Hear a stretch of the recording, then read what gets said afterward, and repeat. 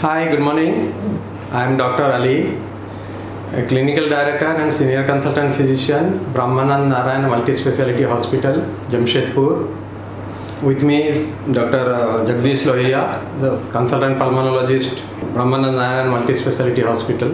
Doctor Lohia आज C O P day मनाया जा रहा है ये क्या है किस लिए मनाया जा रहा है और इसका सिग्निफिकेंस क्या है एक्चुअली सीओपीडी अगर हम बात करें तो ये एक the fourth leading cause of death है वर्ल्ड वाइड अगर आप देखें तो और आने वाले दशकों में ये third leading cause of death होने वाली है। तो सीओपीडी को समझना बहुत ज़रूरी है और वक्त रहते सही समय पे उसका इलाज करना बहुत ज़रूरी है।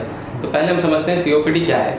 तो सीओपीडी मतलब है क्रॉनिक ऑब्स्ट्रक्टिव पल्मोनरी डिज़ीज़ तो क्रॉनिक मतलब जो लंबे समय की बीमारी है ऑब्स्ट्रक्शन मतलब रुकावट, जिसमें फेफड़ों में मुख्य तौर पर जो एयरवेज है, जो सांस की नली है, वो पतली हो जाती है बिकॉज़ ऑफ़ इन्फ्लेमेशन उनमें सूजन आने की वजह से उनमें कॉन्स्ट्रिक्शन हो जाता है एयरवेज में। और इसी कॉन्स्ट्रिक्शन की वजह से, और प्लस साथ में जो म्यूकस ग्लैंड्स होते हैं, वो ज़रूरत से ज़्यादा बलगम बनाने लगते हैं। और जो हमारे एयर सैक हैं, जो एल्यूलाई हैं वो भी डैमेज हो जाते हैं। इन सब की वजह से सांस लेने में और सांस छोड़ने में रुकावट होती है ऑब्स्ट्रक्शन होती है। क्योंकि ये लंग्स की डिज़ीज़ है इसीलिए इसको पल्मोनरी डिज़ीज़ कहते हैं। हालाँकि कोई भी बीमारी जब लंबे समय तक रहती है तो वो सिर्फ़ एक पर्टिकुलर सिस्टम तक ही सीमित नहीं होती। वैसे ही सी भी हाँ सिर्फ़ पल्मोनरी तक नहीं सीमित है। Other systems affected other system भी अफेक्टेड हो जाते हैं जैसे हार्ट बोन्स ये सब भी इन्वॉल्व हो जाती हैं। तो इसी वजह से इस इस इस चीज़ का अवेयरनेस कराने के लिए ये डे बनाया जाता है। अच्छा एक चीज़ ये है कि वर्ल्ड आजमा डे भी डब्ल्यू की तरफ़ से मनाया जाता है। लोगों को जनरल पॉपुलेशन में ये एक रहता है C O P D asthma even M B B S level के डॉक्टर भी कभी कभी कंफ्यूज होते हैं। C O P D and asthma interchangeably use होता रहता है। इसमें आप कुछ रोशनी डालेंगे ये दोनों में क्या फ़र्क है? एक्चुअली आप अगर डिफरेंस हम हम बात करें तो ये दोनों एकदम इंटायरली डिफरेंट एंटिटी है। अगर हम हिस्ट्री वाइज देखें तो अस्थमा बहुत ही अर्ली एज से स्टार्ट होता है और इसके कुछ ट्रिगरिंग फैक्टर्स होते हैं, जिसमें एलर्जन है और परफ्यूम या कोई चेंज सीजनल वेरिएशन या पोलन डस्ट ये सब का ट्रिगरिंग फैक्टर होने से ये प्रेसिपिटेट होते हैं। और अगर वही हम सीओपीडी को देखें तो वो ज़्यादातर 40 इयर्स या उससे ज़्यादा उम्र के लोगों में देखा गया है और उसका मुख्य कारण धूम्रपान है। टोबैको स्मोकिंग इसके अलावा इंडोर आउटडोर एयर पोल्यूशन और ऑक्यूपेशनल हजार्ड इसके बाद अगर हम डायग्नोसिस की बात करें तो जो हम पल्मोनरी फ़ंक्शन टेस्ट कराते हैं, उसमें जैसे एस्मा में, जो ऑब्स्ट्रक्शन दोनों ही डिज़ीज़ में मिलेगा, लेकिन जो एस्मा में मिलता है, वो रिवर्सिबल ऑब्स्ट्रक्शन होता है और जो सीओपीडी में होता है, वो यूजुअली फिक्स ईयर ऑब्स्ट्रक्शन है। और ट्रीटमेंट परस्पेक्टिव से देखा जाए तो दोनों में ही इन्हेलर्स का ही मेन रोल है, लेकिन इन्हेलर्स में जो एस्मा के लिए अगर हम देते हैं तो उसमें इनहेल्ड कॉर्टिकोस्टेरॉइड्स जो है मेन स्टे ऑफ़ ट्रीटमेंट है, और जो सीओपीडी में है, उसमें ब्रोंकोडाइलेटर्स बीटा टू एगोनिस्ट और एंटीकोलिनर्जिक्स जो है, इनका ज़्यादा ट्रीटमेंट ऑफ़ चॉइस है। तो ये डिफरेंस है अच्छा ये आजमा जो अगर जो क्रॉनिक आजमाटिक्स होते हैं बहुत लंबे टाइम से फ़र्ज़ करो बचपन से शुरू हुआ और बुढ़ापे तक चलता रहा है ये कहीं सीओपीडी में कन्वर्ट होता है क्या? मैंने या इंडिस्टिंग्विशेबल हो जाता है कभी कभी? ना ऑब्वियसली ऑब्वियसली बात है कि जब भी जब भी कोई डिज़ीज़ लंबे समय तक रहेगी और अगर उसका सही से इलाज नहीं हुआ तो ये एस्मा भी लेटर लेटर स्टेज में जाके फिक्स एयर ऑब्स्ट्रक्शन होकर सी की ही तरह बिहेव करता है। तो ये मतलब एक स्टेज के बाद अगर वो आप सही से अगर ट्रीटेड नहीं है या इनएडिक्वेटली ट्रीटमेंट अगर लिया है तो वो भी बिहेव करता है सीओपीडी की की ही तरह। इसका क्या क्या सिम्टम्स होते हैं? साइंस या सिम्टम्स क्या होते हैं? जैसे जनरल पब्लिक के लिए बताने के लिए कि ये सीओपीडी है। सीओपीडी में मुख्य तौर पर सबसे पहले जो प्रीडोमिनेंट जो कॉमन सिम्टम्स है वो है सांस लेने में दिक्कत होना।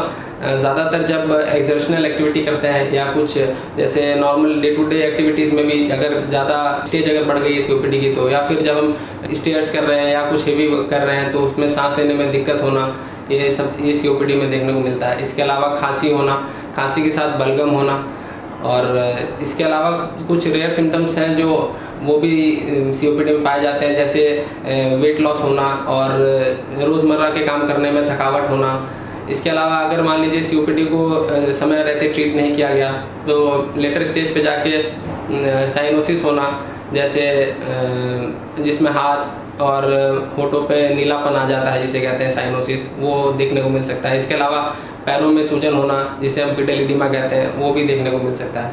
तो ये सारे साइन सिम्टम्स होते हैं सीओपीडी के। तो कैसे क्या क्या इन्वेस्टिगेट कैसे करते हैं? सीओपीडी को डायग्नोसिस करने के लिए या फर्दर ट्रीटमेंट करने के लिए क्या क्या इन्वेस्टिगेशन ज़रूरी होते हैं? डायग्नोसिस के लिए सबसे पहले हम हिस्ट्री में ही आएँगे। तो जो भी अगर 40 इयर्स या उससे ऊपर के जो लोग हैं जिनको स्मोकिंग का एक्सपोजर है या मतलब टोबैको स्मोक चाहे किसी भी रूप में हो वो चाहे बीड़ी सिगरेट हुक्का चीलम जिस भी रूप में स्मोक किया चाहे एक्टिव स्मोकिंग हो या फिर पैसिव स्मोकिंग चाहे मतलब जो रेगुलरली जो लोग स्मोक करते हैं अगर उनके इर्द गिर्द वो रहते थे तो एक्सपोजर है, या फिर अगर इंडोर एयर पोल्यूशन है, जो महिलाएँ हैं खासकर, जो चूल्हे पे खाना बनाती हैं तो चूल्हे से जो धुआँ उठता है, उसका एक्सपोजर हो लॉन्ग टर्म या फिर जो ऑक्यूपेशनल एक्सपोजर है, जो लोग फैक्ट्री केमिकल इंडस्ट्रीज़ ये सब केमिकल फैक्ट्रीज और इंडस्ट्रीज़ में काम करते हैं तो उससे जो फ्यूम्स होता है, उसका एक्सपोजर जब होता है तो ये सारे अगर एक्सपोजर हैं और बहुत रेयर एक कॉज है जो जेनेटिक कॉज में आता है जिसमें अल्फ़ा मैन एंटीट्रिप्सिन डिफिशिएंसी भी है.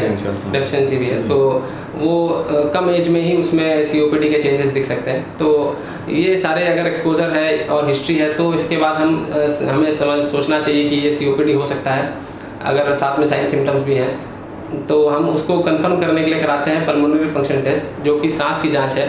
इसमें हम लोग ऑब्स्ट्रक्शन है या नहीं और रिवर्सिबल ऑब्स्ट्रक्शन है या नहीं वो देखते हैं और उसके बेसिस पे हम सीओपीडी की डायग्नोसिस बनाते हैं। इसके अलावा हम अ, कुछ एक्सरे वगैरह करा सकते हैं। एक्सरे है इस और जब मान लीजिए कि अगर ये डिज़ीज़ बढ़ रही है तो ऑक्सीजन की कमी है या सी बढ़ रहा है ये देखने के लिए आर्टिकल ब्लड गैस एनालिसिस है। और भी अदर टेस्ट होते हैं जिससे हम कॉम्प्लिकेशन वगैरह भी देख सकते हैं। सिटी स्कैन का कोई रोल है इसमें? सिटी स्कैन का एज सच सिर्फ़ सीओपीडी डायग्नोसिस में कोई खास रोल नहीं लेकिन हाँ सीओपीडी भी बहुत तरह की होती हैं तो किस तरह का सीओपीडी है या फिर उसके साथ जो जो डिफरेंशियल डायग्नोसिस है सीओपीडी उसको exclude करने के diseases. ब्रोंकिक्टेसिस है चाहे ट्यूबरकुलोसिस है तो ये सब चीज़ों को एक्सक्लूड करने के लिए या- या फिर उसके लिए हम सिटी करा सकते हैं तो क्या क्या ट्रीटमेंट ऑप्शंस है ये तो आपको आप बताया कि ये काफ़ी लॉन्ग स्टैंडिंग डिज़ीज़ है इज़ नॉट एक वेरी क्योरेबल डिज़ीज़ चलता रहता है। तो इसमें ट्रीटमेंट ऑप्शन क्या रहता है? नहीं अगर एक्चुअली ये सारी चीज़ें हैं जब अगर आप सही वक्त रहते उसको अगर आप डायग्नोस करें तो उसको हम लोग एडिक्वेटली मतलब ट्रीट कर सकते हैं। क्योर नहीं कर सकते पर हाँ उसे कंट्रोल कर सकते हैं। और जो होने वाले कॉम्प्लिकेशन उनसे बच सकते हैं। तो इसीलिए इसका टाइम रहते डायग्नोसिस करना। और ट्रीटमेंट में हम अगर जाएँ तो इसमें दो बेसिस पे हम ट्रीटमेंट की बात करेंगे। किसी भी डिज़ीज़ के मैनेजमेंट में पहला आता है प्रिवेंशन और दूसरा है ट्रीटमेंट थेरापेटिक ऑप्शन जो है। तो प्रिवेंशन में वही जो एक्सपोजर की जिसकी हमने बात की, जो स्मोकिंग है, चाहे वो इंडोर एयर पोल्यूशन हो, चाहे ऑक्यूपेशनल एक्सपोजर है अगर कुछ तो उसको हमें सबसे पहले अवॉइड करना है। स्मोकिंग अगर कर रहे हैं किसी भी फॉर्म में हो, चाहे एक्टिव या पैसिव स्मोकिंग हो, उसे हमें एक्सपोजर को, उसको रोकना है हमें। उससे एक्सपोजर नहीं होना चाहिए। इसके अलावा अगर हम फार्माकोलॉजिकल अगर थेरेपी की बात करें तो सबसे पहला मेन स्टे ऑफ़ ट्रीटमेंट है इनहेलर्स जो कि उसमें भी ब्रोंकोडाइलेटर्स होते हैं जो हमारे सांस की नली में जाके उनके जो एयरवेज की जो स्मूथ मसल होती हैं, उनके टोन को अल्टर करते हैं और उन्हें डायलेट करने में मदद करते हैं हमारी। तो उस, उसमें ब्रोंकोडाइलेटर्स में सबसे पहले हम बात करेंगे एंटीकोलिनर्जिक्स की और बीटा टू एगोनिस्ट की, उनका अच्छा रोल है सीओपीडी में। उसको कंट्रोल करने में। इसके अलावा कुछ पर्टिकुलर केसेस हैं जिनमें रिकरेंट एक्सेजरबेशंस होते हैं तो उनमें हम इनहेल कॉर्टिकोस्टेरॉइड्स भी ऐड कर सकते हैं। और उसका ट्रीटमेंट एक्चुअली सारा ये सारा ट्रीटमेंट किसमें कौन सी स्टेज में कौन सा इनहेलर देना है ये डिसाइड होता है गोल्ड स्टेजिंग के थ्रू जो GOLD A B C D ये तीन क्लास बनी है। इसके इस पर क्लासीफाई करके आप फिर उनका इनहेलर्स को डिसाइड करते हैं किस तरह से देना है। तो इस तरह से हम इनहेलर थेरेपी को हम लोग और इस पर एक और ज़रूरी बात कहूँगा मैं कि इन्हेलर सिर्फ़ इन्हेलर लेने से ही नहीं है कि आपको पर्सनलाइज ये पता होना चाहिए कि किस पेशेंट के लिए किस तरह का इनहेलर जो है क्योंकि इन्हेलर अलग अलग तरह के आते हैं। ड्राई पाउडर इनहेलर इनहेलर जो ले नहीं पाते वो वो हाँ, डिलीवरी नहीं होता हाँ, तो इनहेलर वो की- देखना ज़रूरी है। हाँ इनहेलर की टेक्निक सबसे इम्पोर्टेंट है कि इनहेलर सही टेक्निक से लेना आना चाहिए और किस जो पेशेंट जिस तरह के इनहेलर में कंफर्टेबल है उसको वो इनहेलर हमें प्रिस्क्राइब करना चाहिए। तो ये पहला हो गया इन्हेलर्स के लिए। दूसरी बात अगर हम करें तो कुछ मेडिसिन भी हैं जो हमारे देश में बहुत लंबे समय से यूज़ होती आई हैं और उनके फ़ायदे भी हैं। जैसे उसमें आते हैं सबसे पहले तो थियोफाइलिंग्स है जैसे हम्म। उनका अच्छा रोल देखा गया है। उसके अलावा अगर मान लीजिए कि किसी को पीला हरा बलगम आ रहा हो या साथ में बुखार आ रहा हो तो उसमें ओरल एंटीबायोटिक्स का भी रोल है। उसके अलावा जब एक्सजर्बेशन हो जब कभी अगर ज़्यादा दिक्कत हो तो लिमिटेड रोल है पर short course of oral corticosteroids भी देते हैं उनका भी रोल है। इसके अलावा हम लोग कुछ और भी न्यू मेडिसिन हैं जिनके बहुत लिमिटेड इंडिकेशन हैं। उसमें आते हैं फॉस्फोडाइस्ट्रेस फोर इनिबिटर जैसे रोफ्लोमिलास्ट है। इसके अलावा कुछ म्यूकोलिटिक्स हैं जैसे एनिस्टाइसिस्टीन है। तो वो सब दवाइयों का भी रोल है। अब ये हो गई दवाइयों की बात अगर हम करें तो। इसके अलावा अगर ट्रीटमेंट के लिए आप देखें तो उसमें कुछ अदर ट्रीटमेंट ऑप्शंस भी हैं। जैसे अगर मान लीजिए सीओपीडी में लंबे समय तक है, जो कंट्रोल नहीं हो रही है और किसी को ऑक्सीजन की कमी आ रही है तो आर्टिकल ब्लड गैस एनालिसिस से हम कंफर्म करके लॉन्ग टर्म ऑक्सीजन थेरेपी को कंसिडर कर सकते हैं।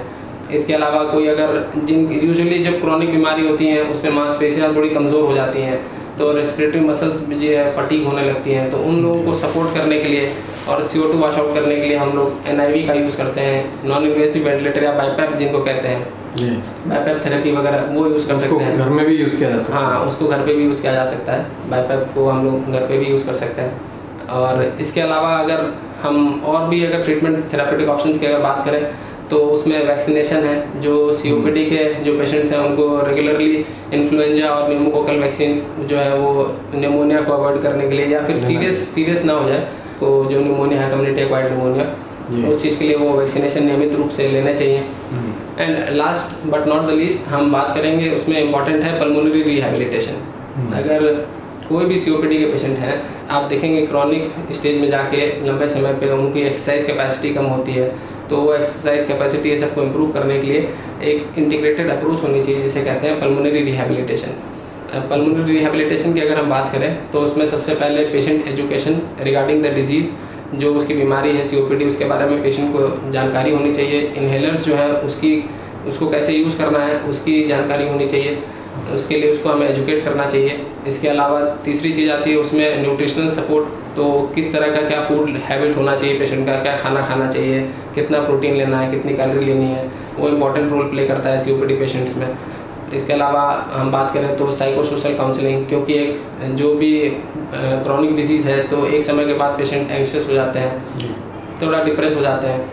तो उस केस में उन लोगों को साइको सोशल काउंसलिंग की ज़रूरत पड़ती है तो वो करनी ज़रूरी है। इसके अलावा ज़्यादातर जो पेशेंट्स होते हैं उनको सिक्रीशंस वगैरह कफ आउट करने में दिक्कत होती है तो उसके लिए हम उनको एयरवे क्लियरेंस टेक्निक सिखा सकते हैं। और उसके लिए कुछ इक्विपमेंट्स भी हैं, जैसे कपीला है फ्लटर डिवाइस है, वो सब हम यूज़ कर सकते हैं।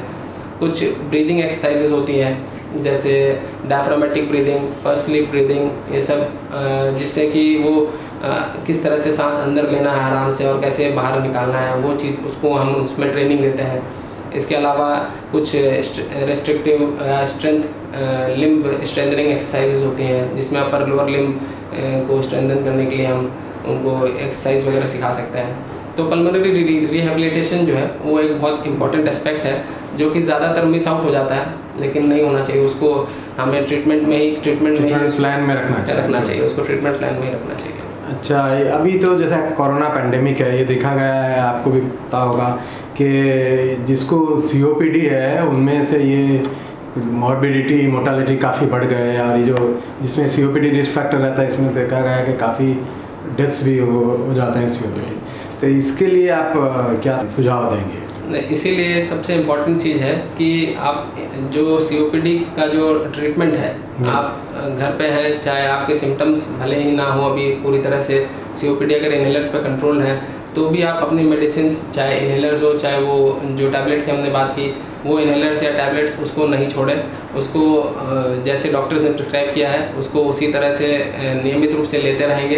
जब तक आप आपके डॉक्टर्स जो हैं वो आपको नहीं कहते हैं कि आप उसको स्टेप डाउन कर सकते हैं तब तक आप उसे कम नहीं करिए उनकी सलाह मानिए। क्योंकि अगर एक बार ये सीओपीडी अगर आपके कंट्रोल के बाहर हो गया या फिर अगर अनकंट्रोल हो जाती है अगर तो उसके बाद में अगर उस पर अगर कोविड इन्फेक्शन हो जाए या वायरल इन्फेक्शन कोई और किसी भी तरह का अगर वायरल इन्फेक्शन हो जाए तो एक सीओपीडी एक्सजर्बेशन के साथ वायरल इन्फेक्शन ये ज़्यादा डिटोरेटिंग होता है। इसको ट्रीटमेंट में भी ज़्यादा समय लगता है। और जब भी ये दोनों कंडीशन साथ में होंगी तो जो प्रीवियस लंग फ़ंक्शन थे, वो आपके रिकवर होने के बाद भी और लंग फ़ंक्शंस आपके जो हैं, वो कम हो जाते हैं।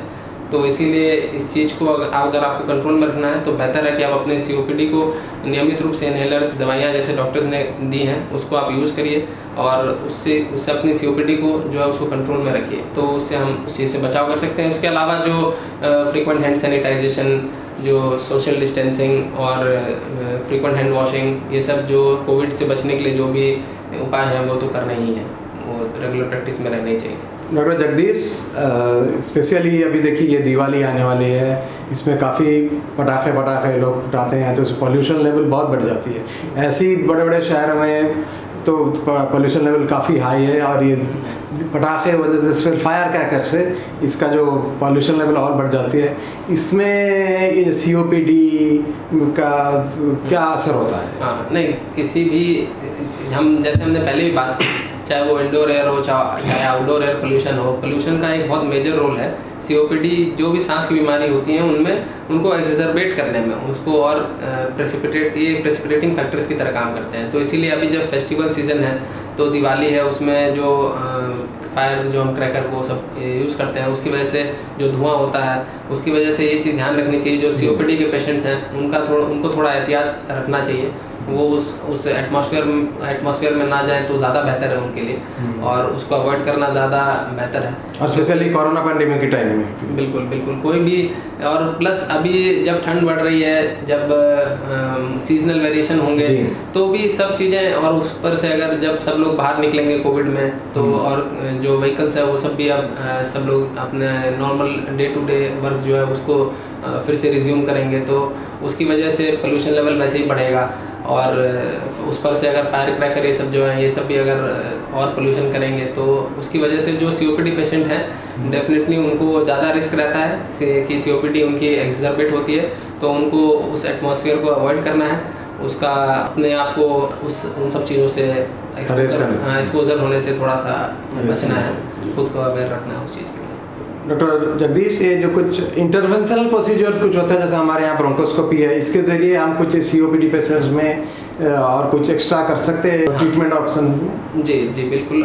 अब कुछ रिसेंट चाहे ब्रोंकोस्कोपी गाइडेड इंटरवेंशन हो चाहे सर्जिकल इंटरवेंशन हो ये भी सी में है। जो अगर हम पहले ब्रोंकोस्कोपी गाइडेड इंटरवेंशन की बात करें अगर तो उसमें आता है ब्रोंकोस्कोपी गाइडेड इंडोब्रोंकियल जो वाल्व्स हैं जो। कॉइल्स हैं उनको प्लेस करते हैं उसके अलावा वेपर एबलेशन कर सकते हैं। ये सब ब्रोंकोस्कोपी गाइडेड इंटरवेंशन है जो सीओपीडी में किए जा सकते हैं। और जो surgical option other surgical option की अगर हम बात करें तो उसमें सबसे पहले आता है लंग वॉल्यूम रिडक्शन सर्जरी जो पेशेंट्स जो सीवियर एम्फाइसिमा है जिनको यूजुअली अपर लो प्रीडोमिनेंस है जिनको लंग्स में जो अपर लोब जो है वो अगर इन्वॉल्व हो होमोजीनियस एम्फाइसिमा हो तो उनमें हम लोग उस कुछ लिमिटेड पोर्शन ऑफ़ लंग्स जो है उनको हम लोग रिसेक्ट कर सकते हैं जिसकी वजह से उनको आराम हो सकता है सी पेशेंट्स को। इसके अलावा अगर कोई बुला सिम्फाइसिमा है अगर कोई बड़ा बुला है तो उसको हम बुलेक्टोमी करके उसको हम लोग ट्रीट कर सकते हैं। ओके। okay. तो इस डे के on this occasion of this world C O P day आप कुछ जनरल पब्लिक को कुछ मैसेज देना चाहते हैं? हाँ मैं ये कहना चाहूँगा कि सी ओ पी डी एक ट्रीटेबल डिज़ीज़ है जिसको हम कंट्रोल में रख सकते हैं। अगर आपको सी ओ पी डी के जो हमने लक्षण बताए हैं, उनमें से कोई भी लक्षण हो तो अपने निकटतम जो चेस्ट फिजिशियन है पल्मोनोलॉजिस्ट हैं, उनसे मिलिए और अपने जो वो प्रिस्क्राइब करते हैं दवाइयों को, उनको नियमित रूप से लेते रहें। इन्हेलर को सही तरीके से लेना ज़रूरी है। अपने डॉक्टर से वैक्सीनेशन और पल्मोनरी रिहेबिलिटेशन के बारे में भी बात करें उनसे डिस्कस करिए। और जो कोविड से बचने के लिए इस समय में जो हम कह रहे हैं कि सोशल डिस्टेंसिंग रखना है और जो फ्रीक्वेंट हैंड वॉशिंग करना है जो माउथ और फेस को कवर करना है वो सब चीज़ों का पालन करिए। उन लोगों को ज़्यादा एहतियात करना चाहिए। नॉर्मल आदमी इंसान से क्योंकि ये ज़्यादातर क्रिटिकल हो जाते हैं हम्म, होता है। बिल्कुल। तो आप इन सब चीज़ों का ख्याल रखिए। Thank you thank you doctor Jagdish आपने काफ़ी सारा टिप्स ट्रीटमेंट में प्रोफाइलैक्सिस हम्म। और आप एहतियात बरतने के लिए जो बताया। हम उम्मीद करते हैं कि ये लोगों के लिए जनरल पब्लिक के लिए काफ़ी फ़ायदा होगी और आप लोग इसको फॉलो करेंगे। ये नहीं कि आप सुन लें और इसको फॉलो नहीं करें। और कोई भी चीज़ में, कोई भी बीमारी में treatment is much better than cure एक बार बीमारी हो जाती है तो फिर उसमें एक तो बहुत टाइम भी लगता है, तकलीफ़ भी ज़्यादा होती है और उसमें एक्सपेंसेस भी बहुत बढ़ जाते हैं। उसी चीज़ को हम अगर प्रिवेंट कर लेते बहुत कम खर्चे में और without undergoing any problems आप उससे बच सकते हैं। Thank you thank you